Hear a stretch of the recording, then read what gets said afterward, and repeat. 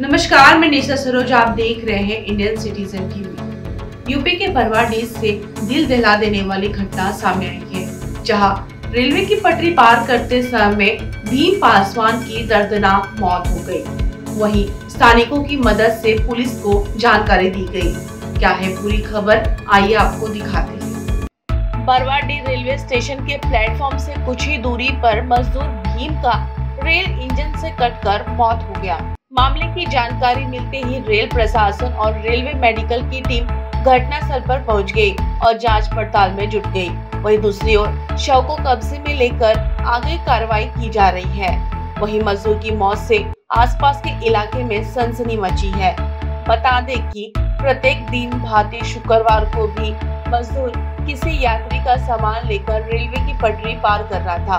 तभी दूसरी ओर से आ रही इंजन की चपेट में आने से मजदूर भीम पासवान की घटना स्थल पर ही मौत हो गई।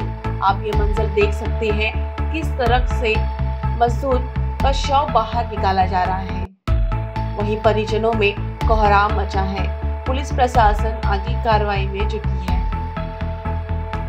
ऐसे में हमारी पूरी टीम की ओर से हम यही आग्रह करेंगे कि रेल की पटरियों को आप कभी पार ना करें, जिससे बड़ी घटना होने से बच सके।